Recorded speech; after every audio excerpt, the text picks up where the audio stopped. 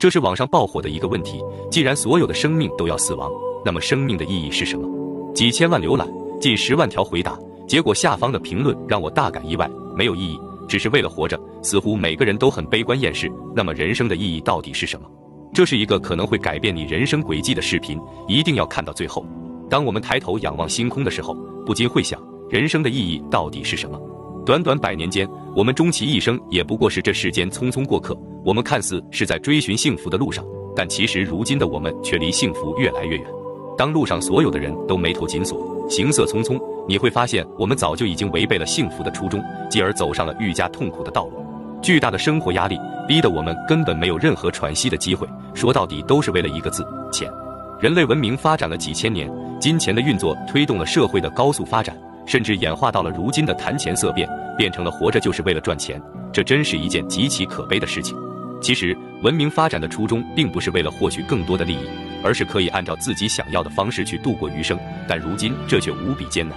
根据熵增定律，每个人都有化为尘土的那一刻，从出生开始就已经注定。但即便如此，却依然有人耗费大量的时间与精力，甚至不惜牺牲自己的身体去换取那个不等价的人生。短短百年，也不过弹指一瞬。从出生到上学、工作到结婚、组建家庭到养育后代，最后宛然一笑，风光而走。仔细想想，我们的一生又曾得到过什么？没错，富可敌国是一种人生，但刚够温饱又何尝不是一种人生呢？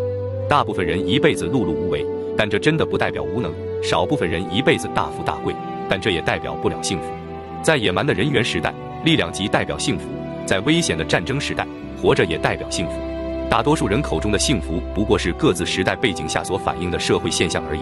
在他们心中，其实根本不懂得什么才是幸福。真正的幸福是一种来自于心底的淡然，不受他人的影响，不受世俗的眼光，能够静下心来做自己真正想做的事情。每个人都想生活得更好，这是我们人类的本能。但越来越盲目的攀比，越来越随意的透支身体，却违背了幸福生活的初衷。我们总是去追求自己未曾拥有过的东西，却不小心忽视了当下最珍贵的瞬间。在亿万年之后，属于人类文明的一切痕迹都将被抹去。不管你曾创造出多么辉煌的成就，无论你是老板还是乞丐，我们都会永远消失，就像从没在宇宙中出现过一样。在宇宙的大尺度范围下，仔细想想，关于我们人类的一切，其实根本就不值一提。我们的存在与消失对宇宙来说也没有丝毫的影响。记住，只有当你真正接近死亡时，你才会明白，精神上的富足远远要比物质上的堆砌来得更加宝贵。我们主观意识下的财富，其实根本就没有任何的意义与价值。在你即将离开这个世界时，那些物质和金钱其实一点都不重要。你唯一能带走的是你的精神与信仰，是永不磨灭的意识与灵魂。